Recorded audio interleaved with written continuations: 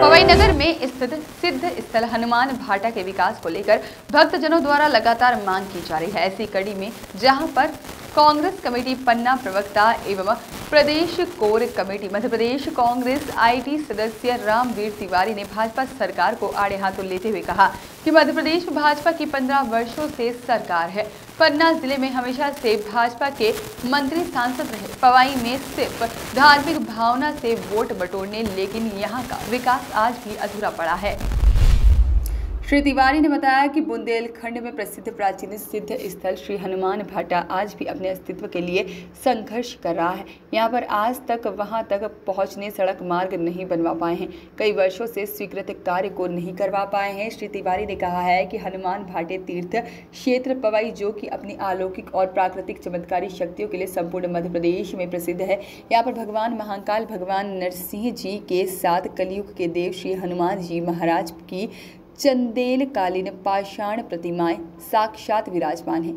यहाँ पर श्री राधा रानी सरकार, श्री राम जानकी मंदिर और साथ ही में धूलिया मठ, सिद्ध महाराज की समाधि और माता कलेही का प्राचीन मंदिर और साथ ही में भगवान शंकर का प्राचीन मंदिर, साथ ही में अनुपम प्राकृतिक धरोहर यहाँ पर पर्यटकों को अपनी ओर आकर्षित करती है।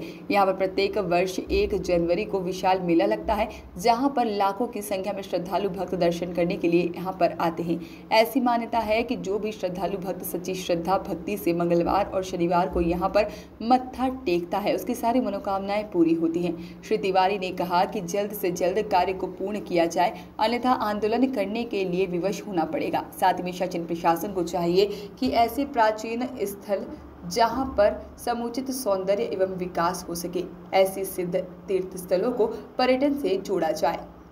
आप सभी जानते हैं कि हमारे पन्ना ज़िले में पवई तहसील में एक प्राचीन सिद्ध स्थल है, जो कि आज भी अपने अस्तित्व के लिए संघर्ष कर रहा है।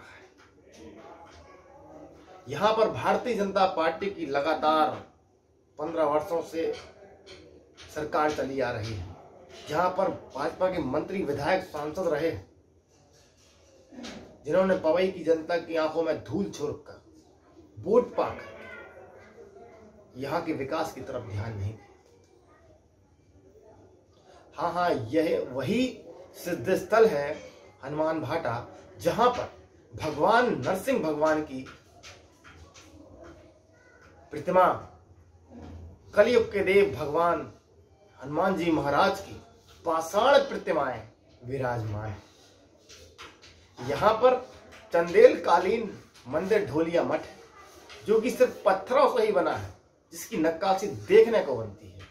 यहाँ पर राधा रानी सरकार का मंदिर है। यहाँ पर भगवान श्री कृष्ण का विशाल मंदिर है। यहाँ पर माता कलेही का प्राचीन मंदिर है। यहाँ पर सिद्ध महाराज की समाधि है। यहाँ का प्राकृतिक सौंदर्य देखने को बनता है। ऐसे सिद्ध स्थल को आज तक पर्यटन स्थल से नहीं जोड़ा गया। पर्यटन स्थल से अगर जोड़ दिया जाता तो आज हमारे हनुमान भाटे का विकास हो जाता। साथियों बताना चाहूँगा कि यहाँ पर प्रत्येक वर्ष एक जनवरी को विशाल मेला लगता है। जिस पर दूर दूर से लाखों श्रद्धालु यहाँ के दर्शन के लिए आते हैं। लेकिन भारतीय जनता पार्टी की सरकार नाकामी के द्वारा यहाँ का समुचित विकास नहीं हो पाया। यहाँ पर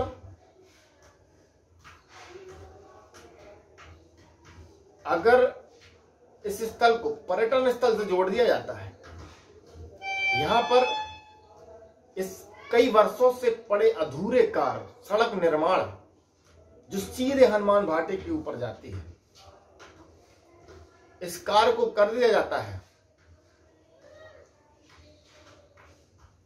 यहाँ पर एक लिफ्ट का प्रबंध किया जाए, ताकि जो